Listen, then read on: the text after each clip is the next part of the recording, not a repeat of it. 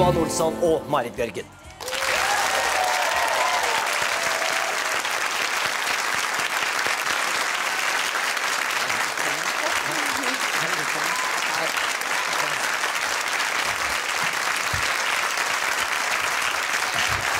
Velkommen hit.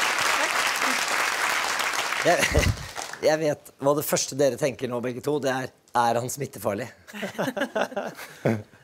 Ja, vi er litt bekymra. Jeg tror ikke jeg er det. Og Falun er jo over uansett. Eh, du skal jo gå Vasaloppet. Ja. Er du, veld, er du, du er, er du veldig bakterieredd? Eh, ja. Jeg jag, har, jeg har jo småbarn hemma och eh, de har, har blitt litt förkylda de också efter, efter Falun. Så at, eh, ja, jag, Du, har, du er sjanseløs, egentlig. ja. Så hvis du nå blir forkjølet, så er det, det, det, er, det er ikke min feil. Nei, nei. Kan vi ikke være enige? Vær så snill, la oss være Nej, Nei, du er ikke like nære som barn i alle fall. Eh, det, er, det er fantastisk å ha dere her i hop. Dere betyr veldig mye for hvert deres land. Og, og selv om disse to landene jo er konkurrenter og, og til dels fiender i, når det gjelder skisport, så, så har, har man jo også eh, Følger man jo veldig godt med på hverandre, for å si det sånn. Er, det, er, det, er dere inspirert av hverandre? Ja, altså absolutt. Eh, Jeg er jo like gammel som Johan. og jeg har jo blitt inspirert av det han har gjort. eh, Og spesielt sånn som femmila i Veldig Fjemme husker jeg veldig godt. Og også det å i år eh, Veldig inspirerende. Det å ha vært mye sjuk og har ikke gått workup på lenge. Og det å klare å, ja, få den formen han gjorde i, Falun og klare å ta en gullmedalje, det er inspirerende. Står respekt av. Altså. Hvordan har Marit vært i den for Jeg blir, nesten litt, jeg blir nesten litt tagen når Marit sier. Det, eh, Marit er i mine ögon definitivt världens beste skidåkare gjennom alle tider tycker jeg. Eh, en, eh, en eh, enorm inspiration også at hun, har, hun er så fantastisk framgangsrik trots at hun ikke har hatt en karriere som har gått aldri spikrakt og hele tiden på rels heller. Når, når Falun nå er over, og man kommer hjem, og det er slutt Hvordan Går det, går det an å beskrive den følelsen etterpå? Ja, det er en sånn tomhetsfølelse. Det blir det med samme. Det, man har jo vært i bob boble, eh, VM-bobla, ganske lenge. Egentlig siden januar. Og så kommer man plutselig hjem på, nå på søndag, og så er alt slutt og alt over. og Ikke får man oppmerksomhet lenger, og ingen som eh, ordner ting for det. Det blir litt sånn tomhetsfølelse. Det blir en sånn eh, rar følelse. Man, eh, man må hjem til hverdagen igjen. Hvordan har det vært for deg? Eh, ja, jeg lämnar ju, jag lämnar ju hemmet och frun och barnen 12 januari. Och det är klart att komma tillbaka hem, det är... Eh, för mig var det ju på ett sätt en befrielse också. For jeg har längtat så fruktansvärt mycket efter dem. Det har, gå- gått, fortell om det øyeblikket når du kommer hjem.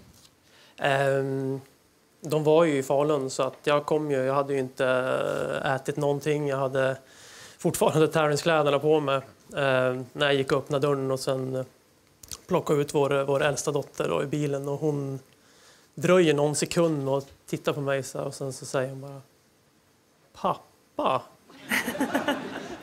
I förvåning. eh, Bra hun kom ihåg det. Ja, ja den, den, den yngre, hon åt, åtta månader, det tog nog ett dygn innan hon kände igen mig tror jag.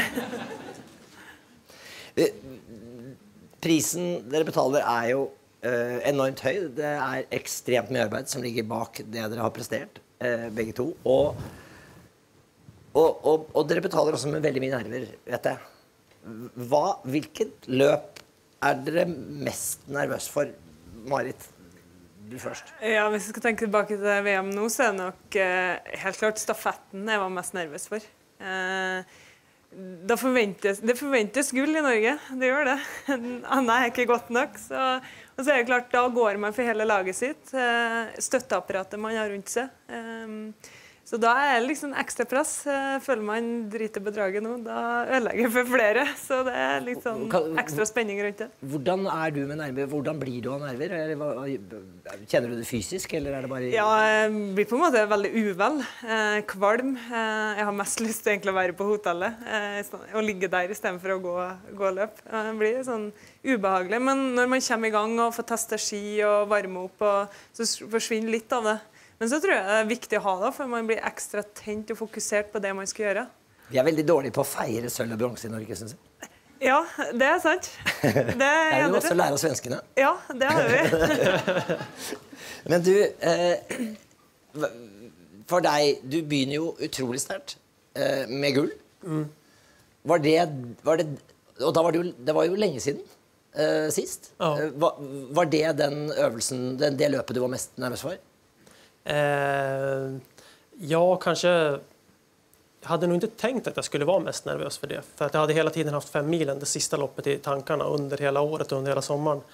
Men när jag väl kom till VM så kände jag att när man inte vet den här känslan när man inte riktigt vet vart man står så var jag väldigt, väldigt nervös. Jag visste ju inte om det skulle bli 35 plats eller om det skulle bli eh, att jag skulle vara på pallen. Så det var, där var jag väldigt, väldigt nervös.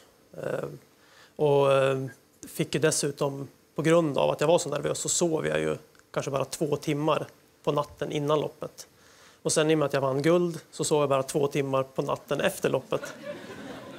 Inte på grund av Men att är jag firade så hårt utan på grund av att, eh, att man var tvungen att sortera tankar och verkligen förstå att ha, vad hände egentligen. Og man er så høyt oppe, Ja, så da ligger du helt Ja, och speciellt den känslan såklart. Att stå på, stå på scenen inför hemmapubliken och, och alla, flera tusen, ropar ens namn. Och, och det, du tror jag att hjärnan måste liksom sortera, sortera ut det där. Er du også så høyt oppe etter at du har vunnet på den måten? At du ikke får sove? Ja, man får jo adrenalinkick. Man gjør det. Eh, man blir litt høy på livet. Eh, Det er jo noe man har jobba mot lenge, og, og endelig lykkes å nå sitt mål. Det er en spesiell følelse, og ikke minst sånn som for Johan, å stå hjemme eller foran eh, sitt eget publikum og høre navnet sitt. Jeg husker jo VM i Oslo, hvor svært det. Det er jo som å være en rockestjerne for en dag. Så.